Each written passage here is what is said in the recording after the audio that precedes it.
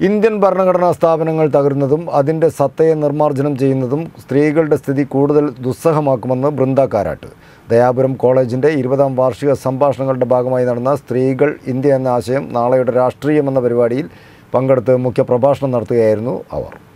ഇന്ത്യയിലെ ഭരണഘടനാ സ്ഥാപനങ്ങൾ തകരുന്നതും അതിന്റെ സത്തയെ നിർമ്മാർജനം ചെയ്യുന്നതും സ്ത്രീകളുടെ സ്ഥിതി കൂടുതൽ ദുസ്സഹമാക്കുമെന്ന് ബൃന്ദ കാരാട്ട് അഭിപ്രായപ്പെട്ടു. ദയാപുരം കോളേജിന്റെ ഇരുപതാം വാർഷിക സംഭാഷണങ്ങളുടെ ഭാഗമായി നടന്ന സ്ത്രീകൾ ഇന്ത്യ എന്ന ആശയം നാളെയുടെ രാഷ്ട്രീയം എന്ന പരിപാടിയിൽ മുഖ്യപ്രഭാഷണം നടത്തുകയായിരുന്നു അവർ. സ്ത്രീകൾക്കെതിരെയുള്ള ഹിംസ സാമൂഹിക അസമത്വത്തിന്റെ ഏറ്റവും രൂക്ഷമായ രൂപമാണെന്നും അതിനെ ദുർബലപ്പെടുത്താൻ കൂട്ടായ പ്രതിഷേധം വ്യക്തികളുടെ ശബ്ദങ്ങൾ സിനിമ സാഹിത്യം തുടങ്ങി ഏത് രൂപത്തിലൂടെയുമുള്ള സാംസ്കാരിക പ്രവർത്തനങ്ങളും ആവശ്യമാണെങ്കിലും നിയമവാഴ്ചയും ഭരണഘടനാപരമായ അവകാശങ്ങളും ഇല്ലാതാകുന്ന അവസ്ഥ സ്ത്രീകളെ കൂടുതൽ അപകടത്തിലേക്ക് കൊണ്ടുപോകുമെന്നും വ്യക്തിപരമായ അനുഭവവും സാമൂഹിക ഘടനയും തമ്മിലുള്ള ബന്ധം മനസ്സിലാക്കി കൂട്ടായ്മകൾ രൂപീകരിക്കാൻ സ്ത്രീകൾ ശ്രമിക്കണമെന്നും ബൃന്ദ കാരാട്ട് കൂട്ടിച്ചേർത്തു.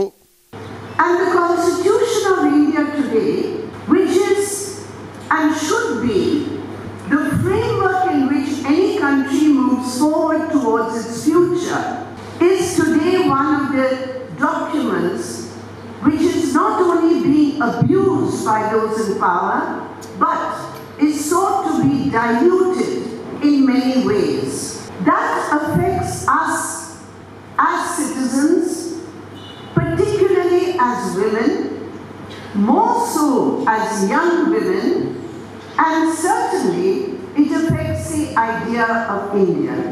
ദക്ഷിണ കർണാടകത്തിലെ വിദ്യാർത്ഥിനികളുടെ ഹിജാബ് ധരിക്കാനുള്ള അവകാശത്തെയും ഇറാനിലെ സ്ത്രീകൾ ശിരോവസ്ത്രമിടാത്തതിന് എതിരെ പ്രതിഷേധിച്ച് നടക്കുന്ന സമരങ്ങളെയും ഒരേ സമയം പിന്തുണയ്ക്കുന്നത് കാപട്യമാണെന്ന് ചിലർ ആരോപിക്കുന്നുണ്ട്.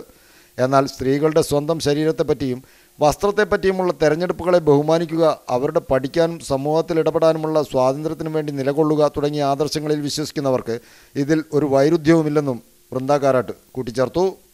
വെറുപ്പിന്റെയും ജാതീയതയുടെയും രാഷ്ട്രീയമാണ് ഇന്ത്യയുടെ ഭാവിയാകാൻ പോകുന്നതെങ്കിൽ നമുക്കൊരു ഭാവി ഉണ്ടാവില്ലെന്നും വൃന്ദാകാരാട്ട് മുന്നറിയിപ്പ് നൽകി. എപ്പോഴും പെൺകുട്ടികളാണ് ഉപദേശം കേൾക്കേണ്ടി വരാറുള്ളതെന്നും ഇനി ആൺകുട്ടികളെ ഉപദേശിച്ച് നന്നാക്കാനാണ് തുടങ്ങേണ്ടതെന്നും മോഡറേറ്ററായിരുന്ന കെ കെ ഷാഹിന പറഞ്ഞു.